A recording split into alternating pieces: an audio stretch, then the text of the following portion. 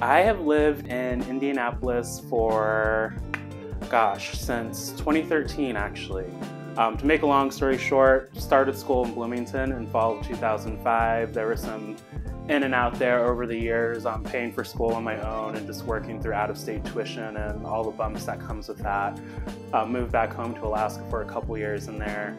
But um, eventually I found myself back in Bloomington in 2011. That's the same year I met my husband.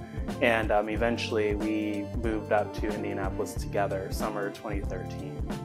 And you know, Indy is a cool place. I like it. Um, I like to call it a little big town because um, you're not getting crazy West Coast, East Coast prices. I like to feel, I like to think that it's more affordable here compared to other places, and it's a really good launching pad if you're looking to get started, especially property ownership.